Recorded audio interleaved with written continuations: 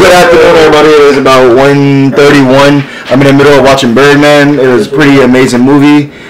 Um, I'm gonna go to the High Line because it's on the way to the meatpacking district, and I'm just going location scouting right now. Hopefully, I find some other stuff on the way. Show the low line. I should go to where? The low line. That's a real thing. Oh, the Low Line. Is it actually, or are you messing with me? I swear, no, I swear. Look, Search up Low Line, New York City. I'm guaran- guaranteed.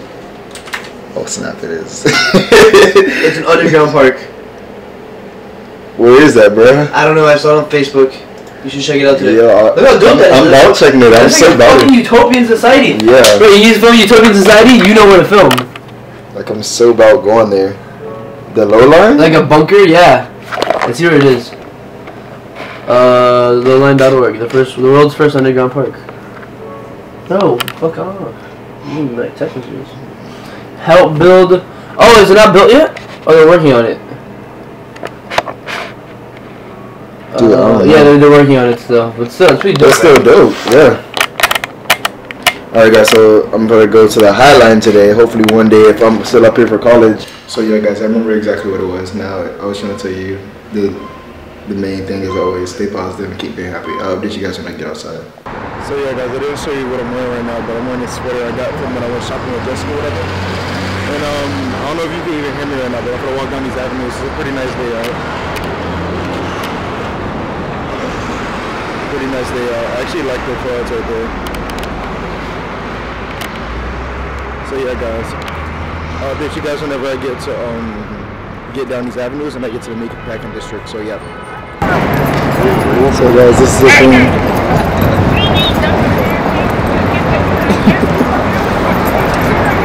One, two, three, four, five, six, seven, eight. And that's a husky on the, on the side back there.